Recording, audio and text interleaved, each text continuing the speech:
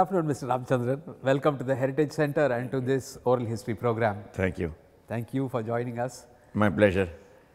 Uh, so, it's uh, very exciting that uh, a student from the first batch of uh, BTech students at IIT Madras can participate in this. So, um, can you tell us how uh, you came to know about IIT when you were joining here? Yeah, sure, sure. Well, actually, what happened, there was a small advertisement in Times of India, it seems. It seems, I said, because I, I don't remember having seen it, but my brother had seen it. My elder brother, who's two years and a few months older. Yes. And he was in Ahmedabad. I grew up in Ahmedabad. He was going to an engineering college in Ahmedabad. Yes. And uh, he said, uh, well, why don't you apply to IIT Madras? I said, okay. I mean, I, I told him at that time, most probably I won't get admitted anyway. because, you know, in those days there were IIT Kharagpur and Bombay. Yes. And um, there was a, a perception that, I mean, it's very difficult to get into it. Though I was, a, you know, fairly a good student and I used to get good marks in pre-university and all those places. But one doesn't know actually what is required to get into right. IIT. That's right. So I was just made a joke at him, okay, I'll, I'll send my papers, application, but uh, don't expect much out of it. I told him that. So that's how it happened. He told me. And, uh, and, and the truth is, actually, I had already been admitted to another engineering college in a place called Anand. Yes. That's where Amul Dairy is. That's right. That's not very far from Ahmedabad. But there was some problem there. So because of that problem, I, I mean, that, that's a, a story by itself. And the students went on, something was wrong in the mess, in the food. Uh, so the, the students there went on strike. And we didn't know, suddenly we came to know there was strike. We came home. Uh, We had already joined the college. We means uh, another person also, a cousin of mine and myself. And then it turned out that uh, this college was closed. Campus, everybody was asked to go home. So we came home. And when we came home, after a couple, a couple of days, I got this uh, invitation Yes. to come to IIT Madras and you know appear for an interview. Yes. Because before that, we had, I had already sent the mark sheet of PUC, you know, pre-university and as- uh, high school and all of that. Yes. So that's how it happened. And then after the interview, the interview well, went very well. They were very happy with my interview, and I got the admission. Yeah. All right. So, you uh, actually visited Chennai to um, participate in the interview. Right, right. Yeah, yeah. From Ahmedabad. Yeah, yeah, Yeah. that's correct. Yeah. Though I have visited Chennai many times because I have relatives here. Right. Yeah, yeah. Uh, so, what, what was the interview process like? Who was there on the interview panel? Can you recollect, recollect anyone? Who I can't there? remember the names of, of the people, but there were certainly three people minimum. That much I remember. And uh, the content of the interview, that I remember, because there again, what happened is they were asking me, why do you, I mean, uh, what is your father? In those days, I don't know how it is today, but it was very common to ask, what is your father doing? You know, because uh, very often the children followed the profession of the father. That was the, or at least they want to find out, is this a doctor's family or lawyer's family, whatever. Yes. So now my, I told him my father is in the textiles mills because he was an executive in uh, textile mills Yes. in Ahmedabad. The Ahmedabad was full of textile mills in those days. So then they immediately asked me, "Do you know how to how a cloth is made? You know, if you start from cotton, how a cloth is made." Yes. Now it so happens that uh, I had I have visited my father's textile mills. You know, he was working in a group of textile mills, very big ones. With they had seven textile mills, and my dad was uh, responsible for the, what is known as spinning department. You must be familiar with the different departments. And so uh, he was responsible for the spinning department for two textile mills, and. Uh, whenever we had guests in our house from any place, uh, he would take them to the uh, textile mills to just to show them Yes. what a textile mills looks like. right. So there was somebody who had come to our family. My, actually, my uncle, my mother's younger brother from Chennai. So uh, he, he was taken, asked, he, he wanted to see the textile mill. So I went along with him. So my dad explained everything, and I was listening. So carefully we listened to everything, and I understood everything because it was, I mean, he, he explained very well, clearly. So when I came for the interview, they asked this question: How do you go from raw cotton to cloth, and then the final product which is sold in the in a shop? So I explained to them all the steps. They were actually very amazed that uh, I went into such level of detail, and I think that had to do with uh, the fact that I had visited the textile mills uh, just about a month earlier or so, and maybe it is destiny huh, that Yes. helped. yes. Yes. yeah, they were very impressed actually that uh, somebody is like 16 year old Yes. could tell that that level of detail how you go from cotton raw cotton you know which you get from the fields That's and then you have to clean it and then you have to spin it and you name it you know until you get the cloth you bleach it and then you dye it. Right. and so I, mean, I think that that actually d- did the trick because my marks were anyway good. You know I was uh, you, I was a top ranker in uh, in the college along with my cousin. Both of us were first and second all the time you know so uh, and the university marks were also good uh, um, apart from the fact that in the college marks we had good marks.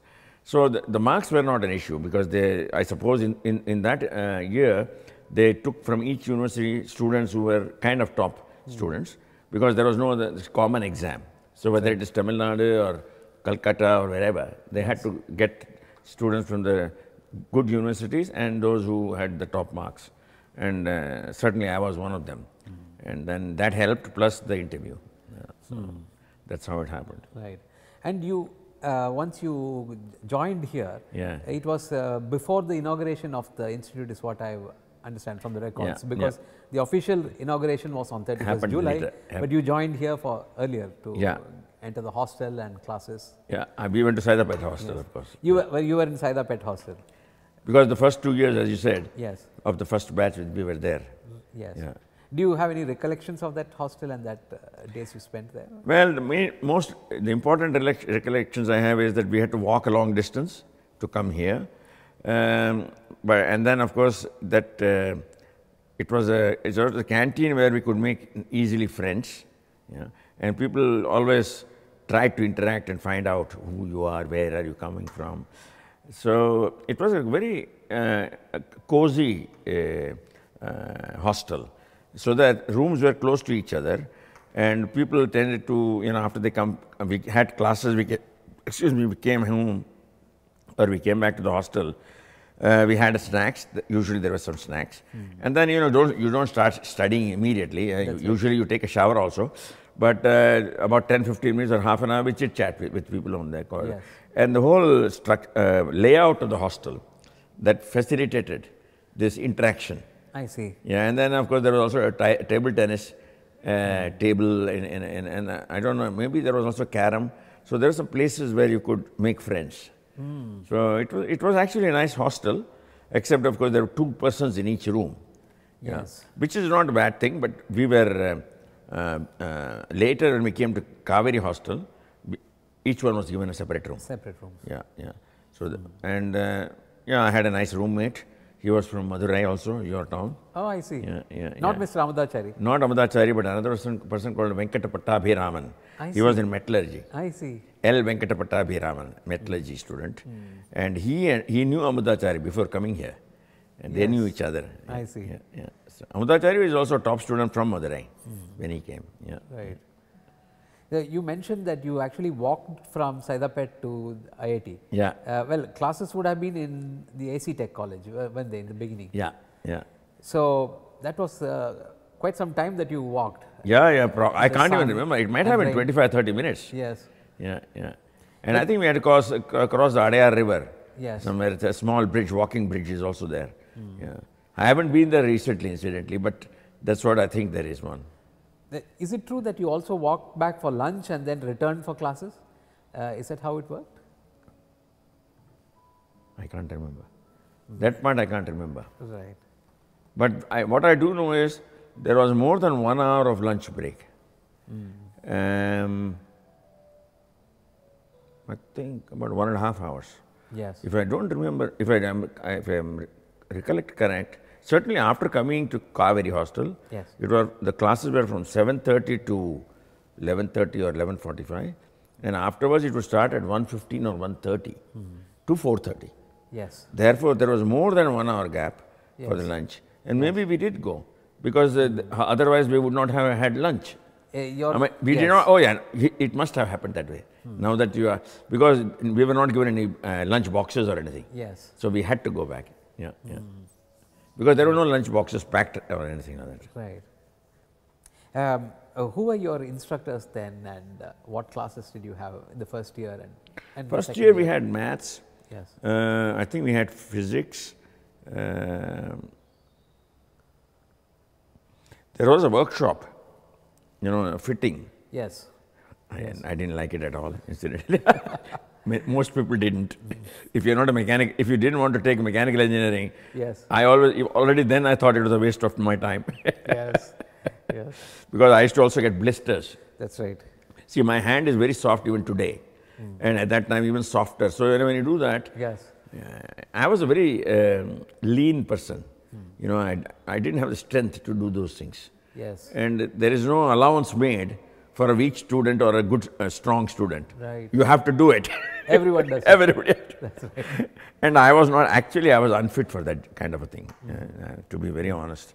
Um, yeah, so there was this fitting workshop, and then there was, I think, eh, I think there was a drafting uh, class. I don't know if it was in the first year or second year, but Yes. certainly it was uh, in one of the two years. Drafting, fitting, uh, I think English also was there, if I'm not mistaken. Yes. Uh, maths was there, physics was there, Yes. I think chemistry also. There were no engineering courses. It had not yet started. Right. Yeah, that started from the second year. To, So- to the best of my re- recollection, Right. memory. I, I think no engineering courses were offered at that time yet. Did, did you have practical sessions in laboratories uh, in uh, I think in physics and and, in physics? uh, physics and chemistry we did. Yeah, yeah.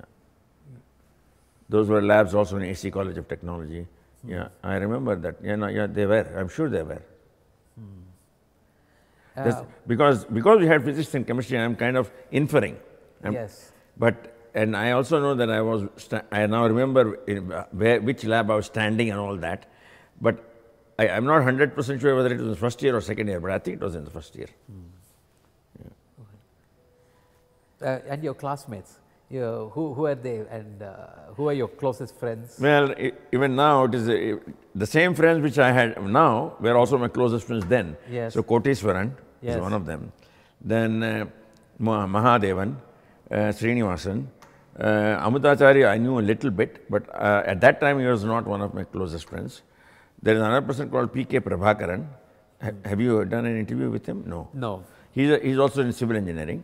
He was in civil engineering. But he was later in Kaveri Hostel on, on my same corridor, hmm. some three rooms further away. Hmm. So he became a, a good friend of mine. Yes. But the closest were Koteswaran, Mahadevan, Srinivasan, another person called Mohan. Hmm. I think he's now in France. Uh, there was another person, no, at that, not in the first year. In the first year, I was not very close to another person called Iswaran. He, he, he is also an electrical engineering student, but um, in the first year, I didn't know him so well.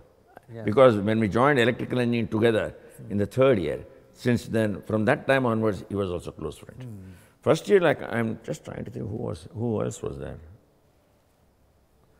These were very close. Mohan, Koteswaran, S- Srinivasan, Mahadevan. Oh yeah, of course, Pattabhiraman, who was my roommate. Your roommate. Roommate. Uh, I can't remember others. Yeah. Another point is I was a, um, I was a little bit of an introvert. I was a shy person. I was not like you know some people are you know bursting with the no, e- energy and they will start talking and interacting. That I do now today. today I interact with a, a child of five to hundred. But um in those days I was I was an introvert. So I didn't have that many friends in the first year. Yes. There might have been another couple of or two or three, but now I can't remember the names. But these were definitely co- closest. What I mentioned. Yeah. Yes. Uh, and so this went on for two years, this uh, system of classes Yeah. in AC Tech, workshop uh, nearby. Yeah. Yeah. Now, uh, do you have recollections of uh, Professor Sengupta uh, from those days, Yeah. Um, the director? we didn't have too many interactions. That was my regret, actually. Uh, he did not have too many interactions with the students, like every three months or any such thing. What we do know is he was uh, he, he came with a reputation that he's a very systematic person and he's a good administrator. Yes. And uh, he's also very strict, coming from the you know services. Army. I, I don't know whether it was an army or air force, but he is from the services. Actually, we have very little uh, information about his. Oh, is that so? Uh, yes, his career before he But he joined a- the VJTI at Bombay. But he was from the uh, services. He has worked in the services. Um, uh, he, he made speeches which were uh, uh, to the point, you know. Um, but uh, I, if I may be honest, uh, the speeches which uh, inspired all of us was that of Natarajan. Mr. Natarajan, the registrar. I mean, he was just too good. So the, the speeches which always stayed with us Yes. were those of R. Natarajan. And Mr. Sengupta, he was all to the point, business-like, whatever needed to be said, Yes. he would say it. Whereas Natarajan would digress a little bit, make, make a story, Yes. and it would be a humorous one. Yeah, so it was always great to listen to him. Right. Yeah, and his command of the English language, I have, I have met few people like him in my life who can speak so well. Yeah, Uh, Mr. Regi- uh, Mr. Natarajan was the registrar, Yeah. so which is really an administrative uh, uh, post. Yeah. But still, he knew a number of students and Yeah, uh, met with them. So, what did he? Uh, how did this happen? How did he come out to your hostel to talk with you, or? Uh, Actually, it didn't did- happen too much with me. Yes. I don't know with, with how many students he talked. Maybe the ones who were, uh, you know, I was in the kind of third or in, in my, in the first two years, I was not one of the better students, let's say. I was uh, average to above slightly. From third, I started doing very well because I, fin- I finally, I, I finished with the first class. You know, so from third year onwards, I started doing much better because there was more focus on my own field of studies. Uh, I don't know whether he uh, spoke with many students. Maybe he might have. Um, uh, maybe also that he did it at a time when I, I was gone, either I was playing some, somewhere. So I've seen him maybe one or two times in the hostel, but uh, uh, he never had a chat with me, let's put it that way. So Ah. maybe he has had a chat with people like Koteswaran or Srinivasan, it might have been. Yes. yeah. Yes. You you had uh, a, a warden for your hostel. Yes, yes. Uh, do- you know? I think uh, for Kaveri it was uh, at least the first year, Yes. uh, the head of the department of uh, chemical, uh, chemical engineering, Venkateswarlu, Yes. D. Venkateswarlu, Professor Venkateswarlu. Yes. Professor Venkateswarlu. yes. Am I correct? Yes. That's Because a- in my, as far as I remember, he was the warden for the first year of the Kaveri hostel. Whether he was for all the years that I studied, I can't remember. But certainly first year, maybe even maybe in uh, two years, because we finished two years in uh, in Saidapet, Saidapet, and yes. then we came here. Yes. So in, the, in my third year of study, he was the warden, and whether he was also in the fourth year of study, I don't remember. Uh, what was um, the academic pressure like? What, what were- how many exams did you have to write? And uh, I think there were about. Uh, we didn't have a semester system. I think you must be knowing that. yes, for, for you it was the annual full year, system. annual yes. year. And from beginning, so like say from like July till the next May or June when the year ended, probably we had two or three in between, and then a final exam. And uh, Uh, there, there was a system of uh, surprise periodicals at some point. yeah, yeah, sometimes, yeah, but uh, there were not too many of those. There were some, and not in all subjects, in some subjects. What I remember about uh, exams is uh, because there were two or three tests in between, so the material was not for the whole year, but it was less, and you know, just like in the semester system also, yeah, you have only half the material Yes. if you take a full course for two semesters. So I, I didn't find the material as, a, as such too much or anything, but you find sometimes a topic which you don't understand so well. So I can't remember uh,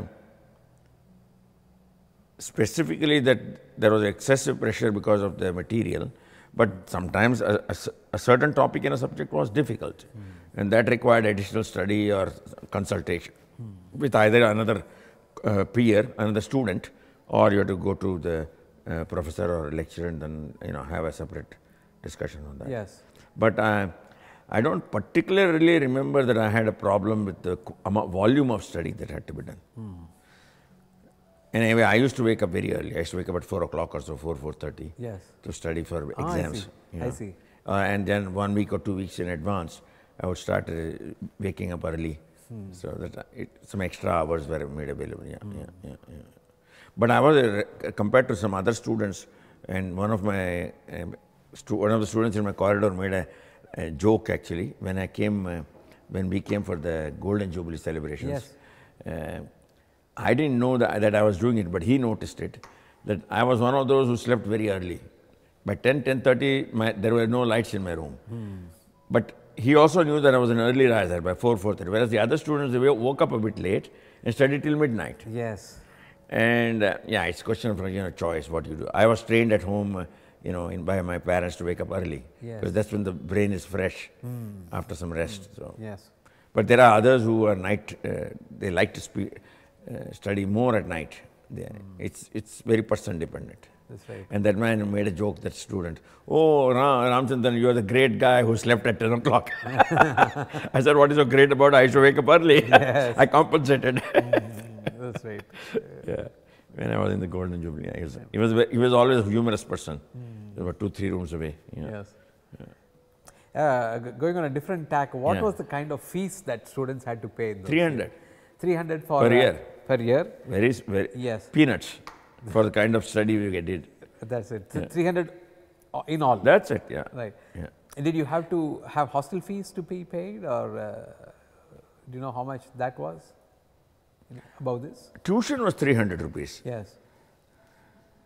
Whether the 300 became more in the fifth year, I can't remember. Yes. It might have slightly increased, but nothing dramatic. It was really very, very economical. That's right. And uh, hostel, what I remember is my dad used to send the first one or two years 50 rupees a month. Yes. And later, I was getting 75 rupees per month. And I can't remember that I paid anything for the hostel. I, uh, those were, that money was meant for the, you know, mess, canteen, and a little bit of pocket money to go to a movie or going out Yes. and take, uh, eat in a restaurant or something. Yes. But I can't remember that there was any hostel fees.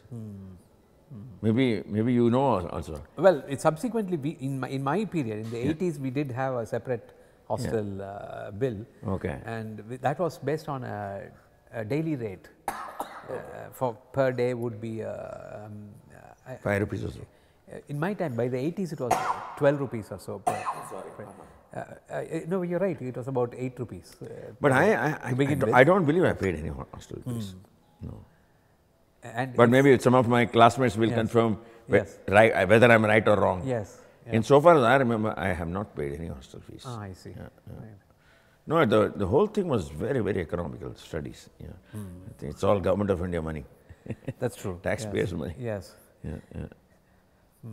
So, um, do you have uh, recollections of the the inaugural inauguration of the institute, the 31st July, when it was formally uh, sta- started? Regretfully, no.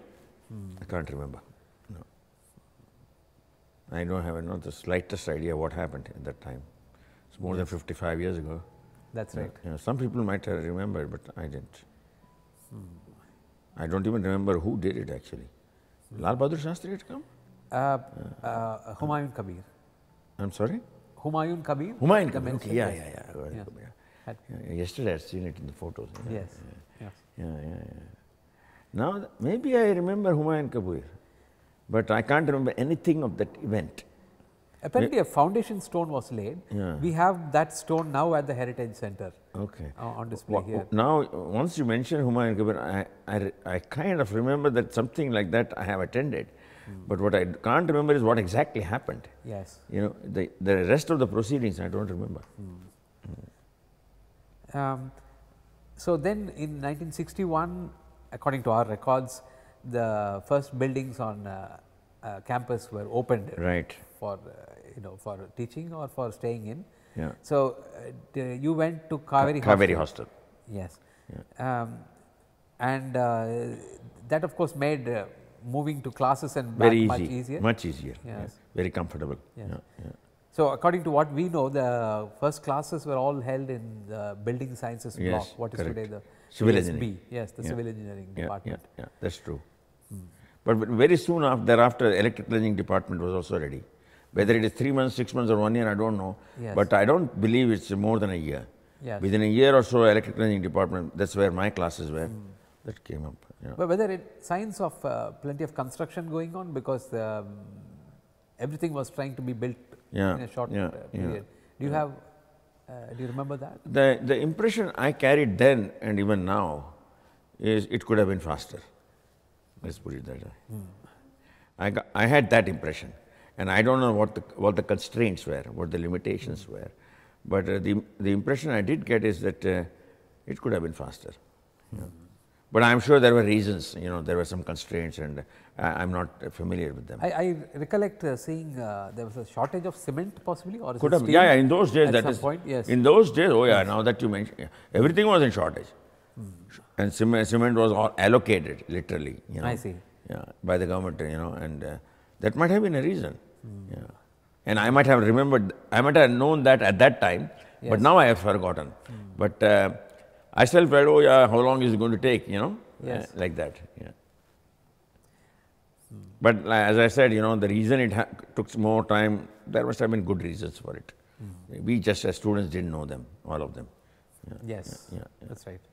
Uh, well, we have, we see uh, what it was to be a student from writings that you, your colleagues have, uh, your batchmates have written in the annual number which you see in front of you and campus yeah. times and so on.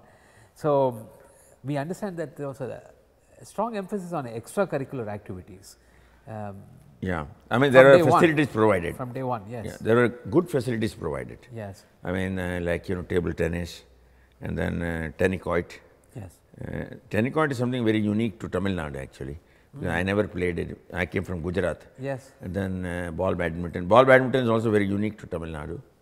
Uh, I have never played it before, and even here I didn't play after coming because uh, that ball is coming at such a high speed you have to have a, you know, you should play it for a long time before you get the hang of it. But I was playing shuttle, hmm. shuttlecock I could play. I could play table tennis. I even played cricket. Hmm. Uh, I played uh, uh, carom. Yes. Uh, I think chess, if I'm not mistaken. Uh, what else? No, I, we were actually quite busy with the games. So after we came, it, there was more opportunities for relaxation. Hmm. So I mean, if you don't like uh, uh, let's say, uh, badminton, but you like tenicoit. Yes. There, there were courts for tenicoit. And um, I, I, I think there were later or even courts for tennis. But when they came, I don't remember. I was never, I never played tennis. So, but cricket ground was there, and uh, we played cricket. Koti used to play. But these located around the Kaveri hostel? Yeah, not too far away. No, not Kaveri hostel but not too far away from where we are staying. Exactly where I forgot now. Yes. Yeah. In fact, uh, very many evenings I played tenicoit with Srinivasan, yes. with uh, Mahadevan. That's also a way of making friends. That's right. Oh, yeah, there was another person called B. Gopalakrishnan. Hmm. He's from civil engineering. He was a very close friend of mine. Hmm. Yeah. Hmm. Even I, I, he might have become friend even in the first year. Hmm. Very nice person, very decent gentleman. Even in those days also. Hmm. One of the most decent persons I met. Yeah. Uh, there, there, was uh, more competitive sports as well in the sense that um, there were inter IIT sports coming right, up. Right, right. So, did you represent the institute? Uh, I was not good in any of them to be able to do that. Uh, you know, like table tennis, I played for fun. Yes. But the real good ones were others, like Srinivas Nageshwar. Yes. And and also S. Gopalakrishnan. Mm. They were good in table tennis. Yes. Uh, in cricket, I was uh, I have played a match, inter-class match. Yes. I think my class against another class, yes. but nothing against an, another IIT. Mm. Because uh, you know, uh, for another, to play against another IIT, you have to choose everybody who is already available in the, all the classes of IIT. Yes. Not just my class. Yes. But all the years. That's right. And then you get maybe about five, six hundred students mm. or more, mm. and they are much better players. Mm. Yeah. There was a sportsman by name uh, Dominic. Uh, yeah, he was very Dominic. good. He was very good at hockey. Right. I think he was good in hockey and also in uh, uh, ball badminton. He was an amazing player, mm -hmm. ball badminton. Mm. He's right now in the US. Yeah. Also, yeah. again, a very nice person. Yeah. When we understand, he was a, an all-rounder, a sportsman. Yeah, yeah. He, uh, ball badminton. Uh, what else he played? Maybe the normal badminton also. Yes. But I can't remember if he played cricket. That I don't know. Yeah, hockey, yes, he played. Hockey. I think yes. so, yeah. Right. There was also a hockey team. There was another person called Chandy, Chandy, hmm. but he's a one class, uh, one batch lower. Yes. He was uh, very good in hockey. Hmm. Yeah. And um, uh, IIT Madras, of course, was started with German assistance. Yeah. So we know that there were German uh, technicians and uh, professors here yeah. on uh, campus. So, do you have recollections of their classes or interacting with them? Well, of course, nobody forgets uh, Dr. Koch. K O C H. Yes. Yes. Now, I have to be, if I may be very frank and honest about it, I had difficulty in following every German professor. And the reason was, it may sound as if I'm blaming somebody else, but uh, th- they were not be able to express the, their thoughts in English in a proper way. And uh, uh, because I, ha- I did very well in nearly all courses taught by Indian professors, but I had difficulty in following the German professors. Right. I was I had difficulty also to take notes, and they did not uh, have a, a specific textbook, which they say, okay, this is what you will find in that textbook. Go and take it. So they would sometimes give a handout, you know, and those handouts will be also crisp and uh, sort of uh, paraphrasing or summarizing, not explaining in detail. So I was uh, one of those. Maybe I, uh, there were more students like me, but I certainly uh, had the uh, problem with any subject where I cannot have a proper textbook, and where you have to learn only from the professor. And if he himself doesn't explain very well, and you cannot take very good notes, I was not able to take good notes also. So in that in that area, Srinivasan, Mahadevan, they helped me. You know, for I would go to them and, and take the notes from them. They helped me. Uh, without those that help, I would have had great difficulty. But the uh, the difficulty I had was also that there were no textbooks which were said, okay, now you go and read this material in that particular textbook. So I had. Uh, I was kind of, and I, I think in one of those courses offered by them, I, did, I got an A or I'm not sure if I got an S. I might have got an A, but in all, the others I got a B, I think mainly. Uh, in, from third year onwards, I got almost all subjects A and S. But it- these were these professors were mainly. S being the top grade. S being the top grade. yeah. Yes. S was super or something like that. And uh, now I don't know what it is. The system is uh, different, is it today? Uh, uh, the system is changed. Yeah. A there was A B, there was A S A B C. Yeah. S was the highest. But from third year onwards, I think I got almost no Bs or very few. But in the first two years, I had a couple, uh, and that were also in, in the courses offered by the German professors. Certainly in those, I think. Maybe in one I got might have gotten it, but I'm not. I don't remember. So a long time ago. So I, I another thing is there is another aspect to it. Uh, we were all children actually. I mean, we are 17 year old is not really an adult. Hmm. When I joined, I was 16 years and six months or something. So what happens is, uh, boys or girls of that age, some of them are already mature to the point where they can they come here to study. Yes. They know their duty as a student eh, and the, the promise they made to their parents that they will do their best, and they are able to keep it. And they were able to focus no matter how a professor uh, presents the material. There are others who are a little bit more childlike. Do you understand what I mean? Yes. Little bit more like children. Um, you mean they need guidance? More No, guidance? they, their mind starts wandering Ah, yes. because uh, the material is at the, at not, not being explained in the manner that they can appreciate. And then the mind starts wandering and they are not able to control it. They are not able to focus on what's going on. I was one of them. Because my mind would start wandering if the material presented was not clear and not in a manner that uh, I would have liked. It did not hold your attention. It did not hold my attention. yes. So that was my problem. Uh, so it could have been and the combination of both, the way the material was. I mean, I was not mature maybe at that age, because uh, if I look at my career later, you know, I think if I look back, uh, I might have understood it better if I had focused on it more, if I had concentrated on it. But I was unable to do it. Yeah. So. But I have nothing, ag- I mean, I, I got through those, uh, that period, but uh, those were the subjects which presented the maximum challenges for me. Yes. Not those uh, taught by Indian professors. They were all for me straightforward. Uh, were you involved in the NCC activities on campus? I was not.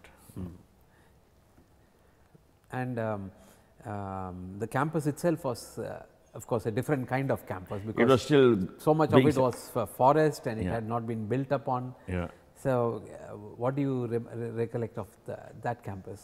exactly what you said. A lot of forest, hardly any buildings, Yes, and we had to walk a long distance to the main gate yes, to catch a bus or, or a taxi or whatever. So, but all those things it never bothered us. You know, at that age, we, we sort of took it all in our stride. Yes. Then we said, well, okay, we had to walk 40 minutes or 30 minutes. What is there like that? Right. And uh, most of the thing is, of course, we saw a lot of deer even those days, you know, spotted deer and all of that. And uh, sometimes, of course, we would feel, oh, if the transportation was a bit better, like, you know, the more buses came or things like that. Buses started coming actually. Yeah. But uh, because for the weekend, we would always say in, inside the I never went out of the campus in, except on weekends. And also not all weekends because I have a lot of relatives in Chennai. Yes. So I used to go uh, maybe once in two weekends or so to stay with them Yes. on Friday night or so I would go. But some people went every weekend because like Koteswaran, his family is here. Yes. You know, he is from Chennai, so his parents are also here. So he went every weekend. Whereas in my case, an uncle, aunt like that. So I didn't go every weekend.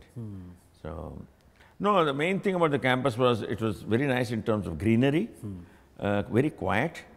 Uh, uh, the roads were kind of still kacha roads. You know, Not all roads were still, you know, uh, paved the way Yes. they are. They are now fantastic here. Everything is kept very well now. Also. Yes. Yes. Uh, quality of maintenance is tip, tip top right now. Yeah. But they actually just tracks there, uh, mud Yeah. tracks. I mean, mud tracks. Basically, majority, uh, at least half of them were mud tracks. And so when there was rain, it was slushy. It was kind of, yeah. Your trousers would get dirty and Yes. things like that. Yeah, That's right. yeah but at, in that age, we don't bother about those things. That's right. Sometimes you'll get annoyed, but most, mostly not. And during the monsoons, it can rain quite It heavily. Yeah, Yes. yeah, yeah, yeah, sure, yeah. That's right. But yeah, I mean, we, we still love to be here, let's put it that way. We enjoyed being That's here. right. Yes. um, was the city also remote in that sense in those days because uh, it has grown a lot now. Yeah. So it, to It re- go from here to where your relatives were. Uh, Well, did it take I would, I would, I had until the, I know the buses came and I was staying in the hostel. Whether it was the fourth or fifth year, I can't remember. But uh, at least for one not one year minimum, maybe one and a half, two years, I used to walk to the gate, and from there I would take either an auto or a, or a taxi. Uh, those days, Madras taxis were also there. I mean, Yes. I'm not talking about Uber or uh, Ola, but the normal taxis. Like in Bombay, they are there yellow top taxis. Yes. So here also we had those kind of taxis, but they were mostly ambassadors here. Um, and while coming back, also I'd come home. I'd come right up to the hostel by taking a taxi. So, I mean, uh, the the accessibility was a bit of a problem, but you have to plan it. That's all. I mean, that means if you want to reach somewhere, you have to plan minimum one hour Yes. Or one hour with th- 20 minutes. That's right. That's, right. I mean, so uh, apart from that, I mean, it's just a 30 minutes walk. I mean, in that age, you know, walk, uh, uh, Yes. nobody bothers about Yes. 30 minutes walk, yeah. yeah. And of course, tele- telephones were Not there. far fewer, practically not there. No, no, it's not they there. were not there. There was actually, the, in the warden's, um, there was a warden's office Yes. in the ground floor of Kaveri. There was a telephone there. So uh, I hardly made, made use of it. Yes. Some people maybe, you know, made use of it, called their parents or if they were not going to come or they were dealing. I never made use of it. Yeah, But I know there was a telephone there. Right. Um, Assistant warden's office, I think that was. There Yes. was also a person who was there uh, kind of 24 hours, a caretaker or whatever. Uh, of course, uh, Ve- Venkateswarlu, Dr. Venkateswarlu was not there all the time, but there was somebody else. Yeah, yeah. Yes. Uh, in, in 1962, the, uh, apparently the open air theatre was inaugurated. Yes, yes. And uh, the first use it was uh, made of was to receive the uh, the German president, uh, President Lubke. Yeah, yeah. Had, was that uh, an, an incident that you remember? Very vaguely, very vaguely. I can't give too many details of that. But what you say, yeah, that part I remember, but not, not much more. Yes. Yes. What I do remember about the open air theatres, we used to go there for movies. Yes. Yes. They were screened. Yes. Uh, I think once a week or something like that. So we used to go there for that. Right. But uh, since I was not a very good sportsman, so I haven't played there inside the stadium or Yes. anything, any game or something like that. And um, once you came to your departmental courses, yeah, was it in the electrical sciences uh, building that you had Yeah. your classes, all your classes? Yeah, all of them were in the electrical. Yeah. I mean, the electrical engineering courses were there. Yes. But even then, at that time, we had some maths course, I think, and then we had to go to some other building. Uh, but all the electrical engineering courses were in that building only. Yeah. Yes. Uh, so were the German test equipment and so on uh, Those are all fine. installed right there in the beginning? Yeah. Uh, I mean, they came in, you know, in, in, in a certain speed. Uh, uh, whether they were all available uh, when we needed them, I can't remember. But uh, they were coming uh, at, at regular intervals, the equipment. I remember there is a, a high voltage lab Yes. in which the, you could have a electrical discharge by Yes, just yes. raising the voltage. Yeah. Wa- yeah. Was that an early uh, piece of equipment? Was it there in your time? I think it was. Because there was a course on that, I mean, uh, related to high voltage. But 100% I'm not sure. Yeah. Most probably it was, but uh, Right. I can't remember. Uh, who, who were your teachers from your department? Uh, can you name some of them? Professor Sampath, Yes. he, as a matter of fact, I took, I was in heavy current, Hmm. where you know this transformers, high voltage, uh, and then this electric distribution, trans, transmission, Yes. distribution, transformers, motors, electrical generation. All of that was taught. I was unfortunately I made the wrong choice. I should have taken electronics. That is what it used to be called LC. LC. But Professor Sampath taught a course in third year on electronics. And that inspired me to move, get out of my whatever field I was in to the field that I wanted to go. Yes. Because his presentation was superb. Yes. And the same of uh, VGK Murthy, Professor VGK Murthy. Yes. P. Venkatrao. Very, I mean, P. Venkatrao tended to be very fast. You have to be, you can't even, uh, uh, you can't let your eye even blink. The speed at which he was talking was amazing. But uh, still, it was presented in a manner that uh, no problem. I mean, it was enjoyable to l- learn from him. Yes. VGK Murthy was top class. S- uh, Sampath also. And then some, Professor Sampath. And then, of course, there was Mr. Ramaswamy. Uh, he was also Uh, a B. Ramaswamy. B. Ramaswamy. He was a good uh, lect- He was, at that time was a lecturer, and then he became an assistant professor. I, I believe he even became a head of the department at some point. But uh, his presentation of the material was very good, but it was not like uh, he was not an inspiring teacher. But he was a good. Uh, he would give the technical details nicely. Whereas Sampath and Mr. Sampath, Professor Sampath and uh, VGK Murthy and P. Venkataraman were inspiring speakers. I think they had that uh, skill Yes. which not everybody has. And they were gifted. Right. Yeah. yeah. And therefore, everybody enjoyed. There, there is not a single person who will have a different opinion, hmm. you know, on these po- on these professors across the board. You know, Yes. Yes. I didn't have, of course, courses of Professor Achutan because that was an LC hmm. electronics, so I can't say hmm. anything about it. But these three, I loved them actually. Yeah, yeah. So, it's a pity I didn't keep in touch with them. So you did you receive your uh, uh, degree here? To Yeah, yeah. Did you come here I to came, collect yeah. I came to, to, collect collect- your degree? Yeah, yeah, I came, came. Uh, because when it was said that Dr. Radhakrishnan is going to come, Yes. so I said that is a lifetime, once in a lifetime opportunity. So I did come. yeah. Only I came. My parents didn't come. I think in some cases some pa- the parents also came, Yes. but uh, in my case only I came. Yeah, yeah. So what happened after IIT? What did you uh, do?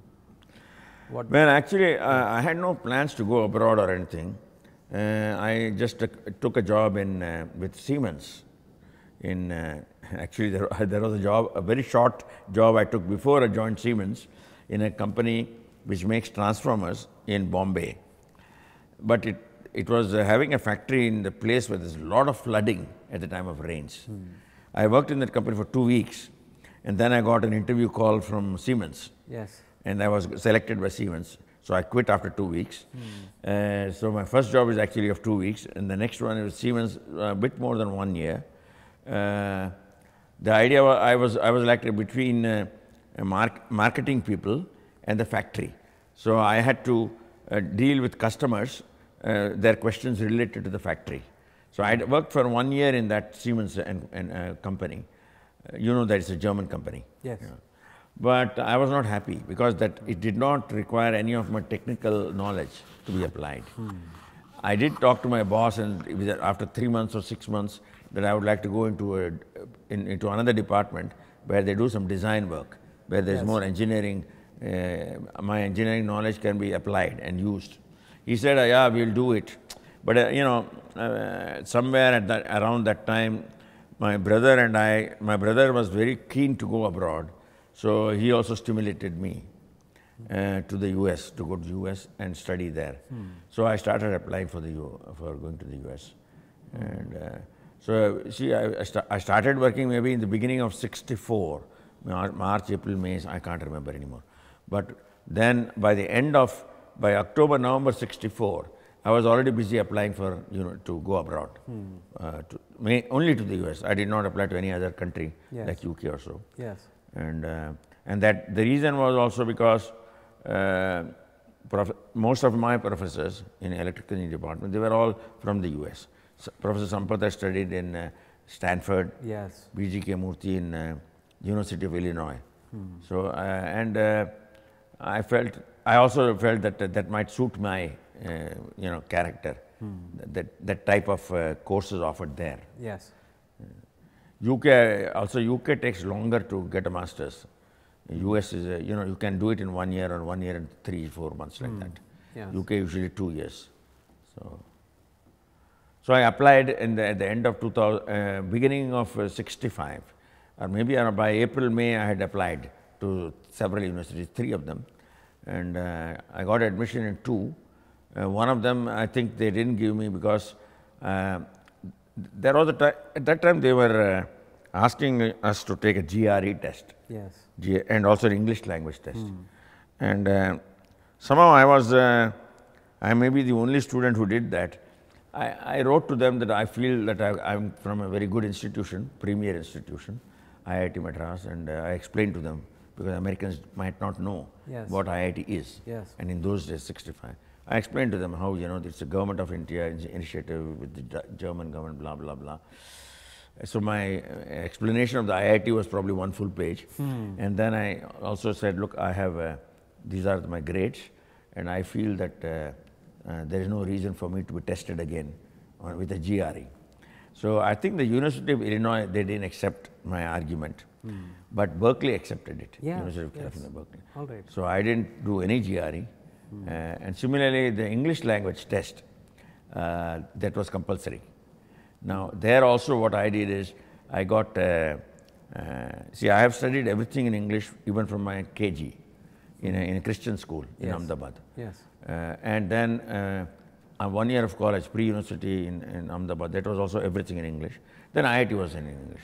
So what I did is I wrote to my uh, principal of the school and the principal of the St. Xavier's College, where I did my PUC, asking them for a testimonial, a certificate saying that I can understand English, I can speak English, and I'm very fluent. I'm fluent in English, Yes. and that I can follow courses in the U.S.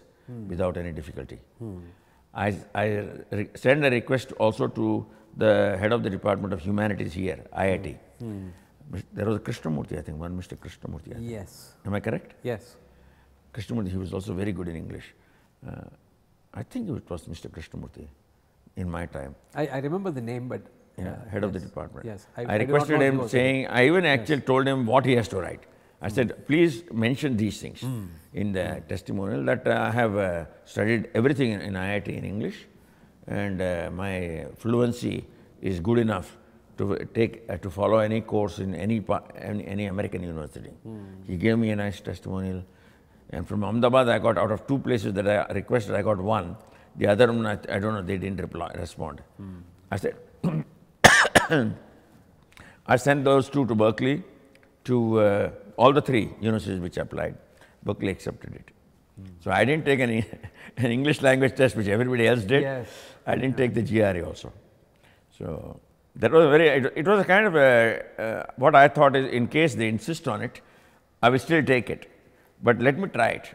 Yes. Yeah, and if they insist, I can always take it. Right. So then I went abroad to the US, studied. I worked for one year, uh, I, I did my MS in electrical engineering, and then I uh, started working in the chips industry. Yes. Uh, you're familiar with the chips industry, I'm sure. Yes. Um, it so happened that one of the courses that I was taking in Berkeley was taught by a visiting lecturer from the East Coast, from Maryland. Yes. And Berkeley is in, the, in California, West Yes. Coast. So that gentleman, a, a, a Chinese actually, uh, he, when he finished the course, he asked all of us, uh, if those who want to co- come and work in that company on the East Coast, please come and see me. So I went there and, and two other Indians also went. And he gave us an application form and he signed it, saying so that he can recognize when the application form comes there Yes. that it has been given to his student by him. So I filled it and sent it, and then uh, I got he off, uh, uh, asked me to come for an interview, and I took a job. Well, I had a job in California also, and most of my Berkeley friends, Indian friends, they chose not to get out of California. They felt California is the, the best place to live, and in Maryland the winters can be severe. Yes. So he even asked me, why are you going there? I was the only person who left. I said, no, because I like this man. This gentleman is a very experienced person.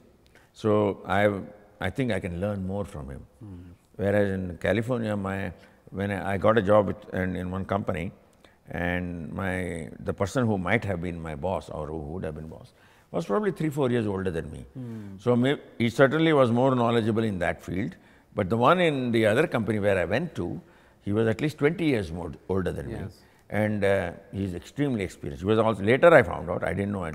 When I took the job, I didn't know that he had already published 25 newspaper uh, papers in, in different uh, journals on chips. He had 25 patents also, US patents. So, you know, I was lucky to go and work for somebody who's so knowledgeable. Yes. So for me, it, it, it was not important to stay in California, but it was more important to go to somebody from whom I can learn. Yes. Yes. So while I was uh, working there, then I went to Johns Hopkins University. There's a university called Johns Hopkins, in, and there I took a, I did the evening course hmm. and took a second man, master's in management science. Hmm. Because from my very young age, I wanted to go get into management, not hmm. into, into research.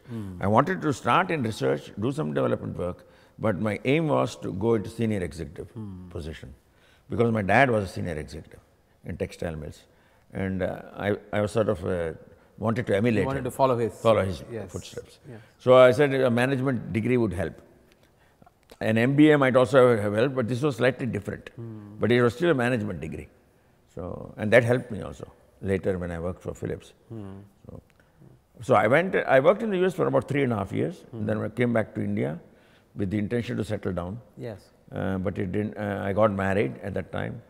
Uh, I didn't, uh, after a few months in Ahmedabad, because that's where my parents were living, I got a job in Pune, a very short, uh, I mean, a job in a very small company, but they were assembling chips Yes. and transistors, not mm-hmm. chips, mostly transistors. Mm-hmm. And they said they will start making chips mm-hmm. sometime in the future. Mm.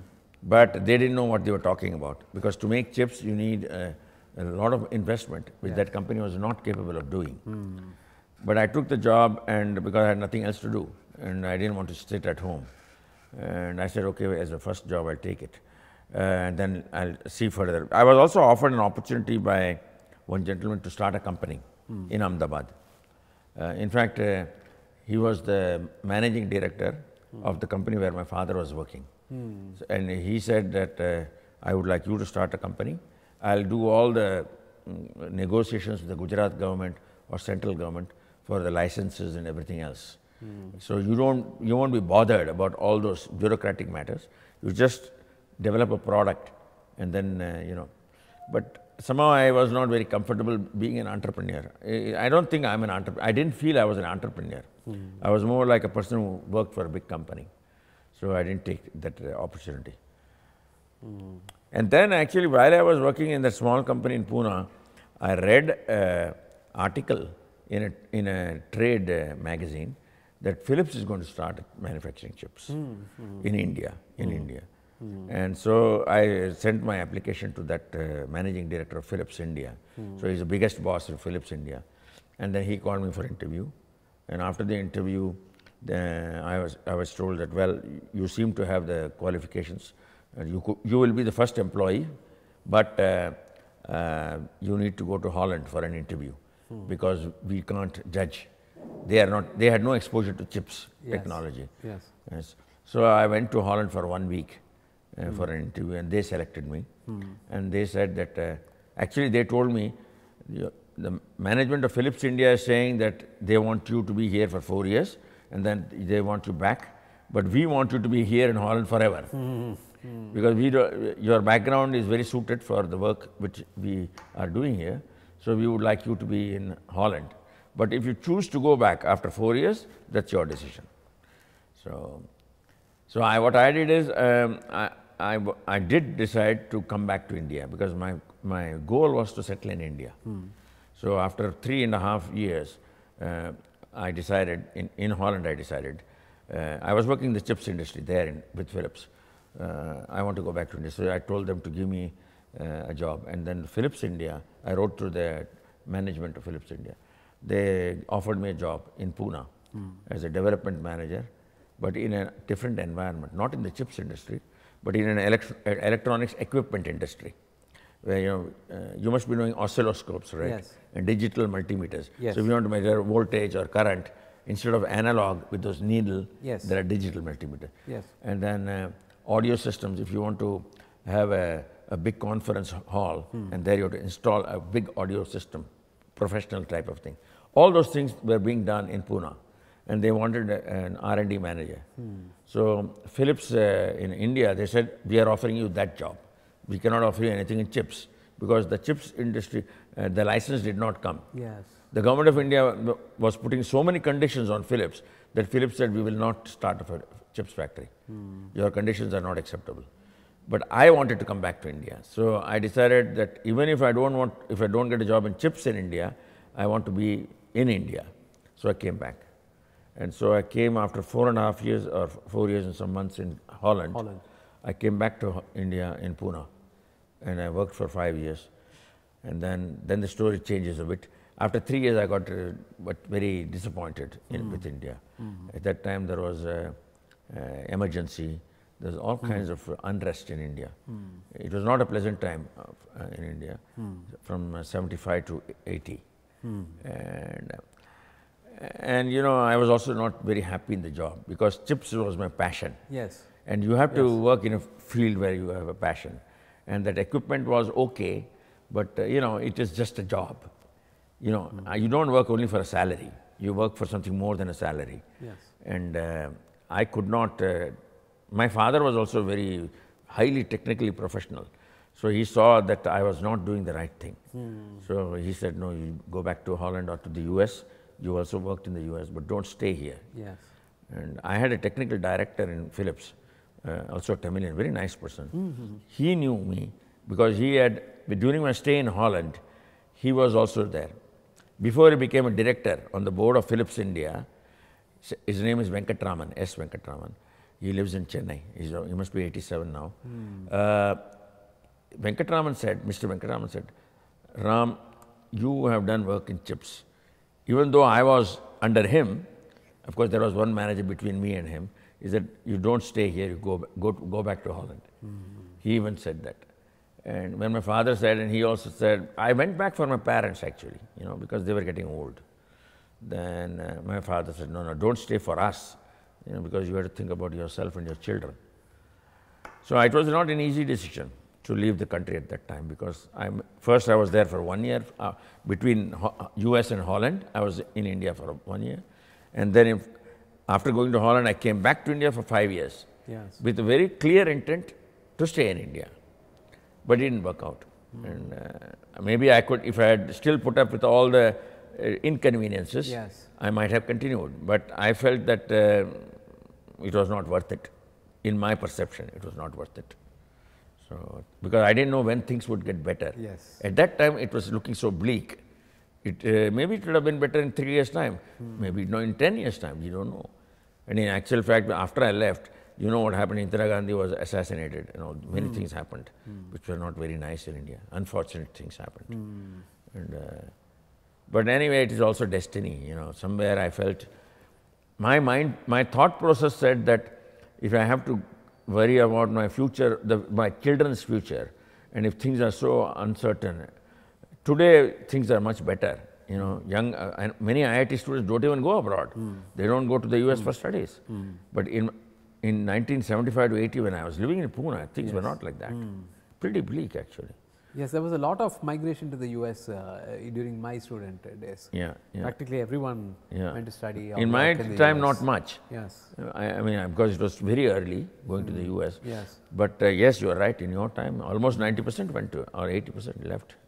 yes. So then, in uh, 1978, 79, I started looking for a job in Holland or in the US. And the management of Philips, uh, you know, they were kind enough because they had seen my work in the previous three and a half, four years. So you come back, they said. So I got a job. Right. So that was uh, So you have been in Holland ever since? since 1980, uninterruptedly we have been in Holland. I see. And uh, we like that country. It's a small country. Yes. It's well managed. It's a, it's a kind of a democratic socialism. And the, the, what I like about democratic socialist countries is that the income inequality is less. And the, there is income support for people who cannot find good jobs. So if somebody, because of whatever reason, you know, if there are 100 people, there might be 20 people in society, in any society, who are unable to get proper jobs. Now, we cannot leave them with such a state of poverty because that is in, in a developed country with a high level of uh, per capita income, like in Holland, they don't tolerate poverty. So they say, well, we have to do something. So the whole syst- uh, tax structure, structure, everything else is such that on the one hand there is capitalism, there is a market economy with proper regulations. Hmm. At the same time, there is income support for people who are not Yes. doing well. Yes. And then there is a skill training, reskilling hmm. of the people so that they get some job eventually. Hmm. And that reskilling can take six months, one year, even three years. Yeah. Oh, So the, the purpose is that there is no poverty. Of course, I don't say that that goal has been achieved. There is maybe still about 3 4% of the people who are po- hmm. poor. But relative to other countries, including the US, especially the US, we have much less poverty. Hmm. Hmm. We have better healthcare system. And uh, there are many things about it which you cannot make plenty of money in Holland. You can make decent money, but you can't make as much money as in the US. So if you have somebody is very talented and the main thing he wants to do is become a millionaire, multimillionaire, make a lot of money, then It's not the Holland is not the place. But you can earn enough to have a good life. have you been in touch with IIT since uh, going to Holland? Unfortunately, not enough. Uh, now I regret it. But I did come in the, for the Golden Jubilee. Yes. And that was a very good experience. I mean, I, I loved it. Those two days were well organized. You know, all, uh, I mean, I should say, all kudos or, uh, you know, applause to everybody who, who did that. It's a fantastic job. Plus, in addition, I have the opp- opportunity to meet all my friends who came back. Yes. And some of them I met only after, I mean, that was the only time I met after we left the IIT. Yes. that is. Uh, It was great, years. uh, great yes. fun. Yeah, yeah. So, and I should have come on the tw- for the 25th anniversary Hmm. because I was informed about it. Mahadevan or Srinivasan, one of them had informed, and for some reason I didn't come. I can't remember. But if I had come, I would have, I would have felt better. Yeah, yeah. Yeah. Sometimes you make mistakes and then you regret it. yeah. But it would have been fun if I had come, really. Yeah. So, so am I, have I taken too much time? Yeah, that is just fine. Thank you very much, sir, for uh, having participated. Sure, sure, sure. No, I loved it, and maybe I talked a little bit too much. No, it was just fine. Thank you again. Again, sure. Thank you. I would like to first thank uh, Mrs. Mamta Dash and Mr. Kumaran, head of the Heritage Center, for uh, making it possible for me to uh, add a few things to the interview which was taken of me uh, at the Heritage Center a few months back. The reason I am doing this is because uh, I forgot to say a few things, and I would like to complete the interview by saying these few things.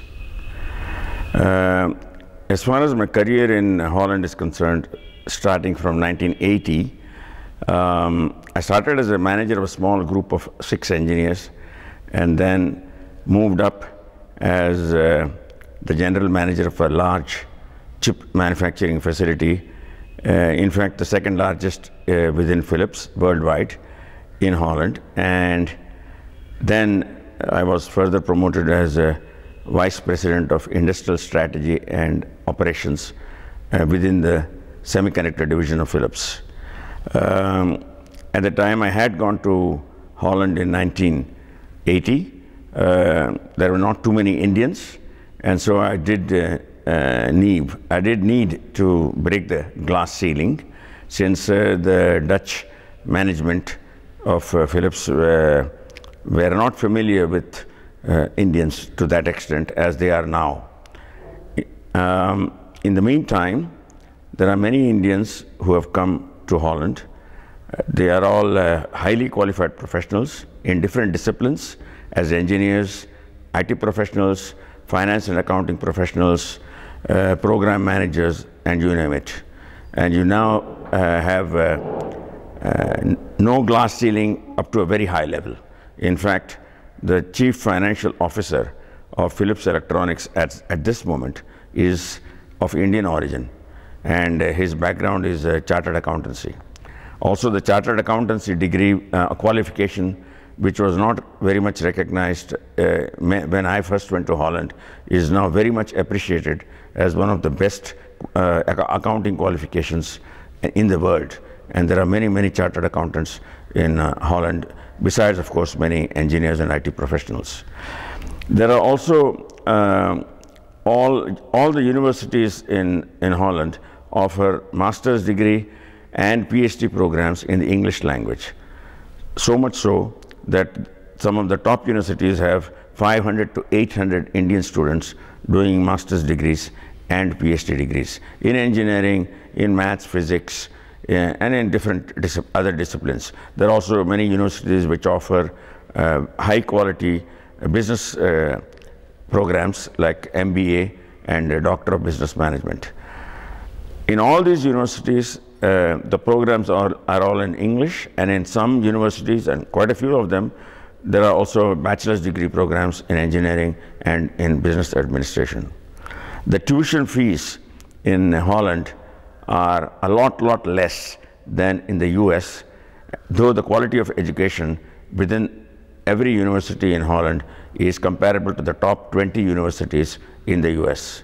As a consequence, I, I do notice that there are many students uh, who are now coming to Holland for their further studies, and uh, I hope that this will continue. In so, so far as social life is concerned, uh, there are Indians of coming from all the states, and that has made it also very interesting to live in Holland. Finally, the work-life balance in Holland is much better than in most countries. The health insurance is of uh, the world-class quali quality and the overall quality of life is one of the best in the world. Um, the happiness index measured by the United Nations in, uh, for people living in different countries uh, has uh, resulted in the conclusion that the Scandinavian countries and uh, some other countries plus Nether Netherlands are the best countries as far as the happiness level with which people are living there. Um, these were the things which I wanted to say to, because it is not always known to uh, many Indians who are living uh, in different parts of the world, especially in India. The opportunities for top quality professionals who have already worked in India are very good there. The company sponsors uh, the, these people who who have uh, good qualifications under special visa considerations, and these visas are such that uh, within five years after arriving in Holland, if they perform well, uh, uh, top professional can get permanent residence in Holland. And if he chooses to get the, the citizenship of Holland, he can also get the citizenship after five years of stay in Holland. The only requirement is uh, before he gets the citizenship, he has to pass, he or she has to pass a simple Dutch language test. Majority of the uh, young people in Holland speak English.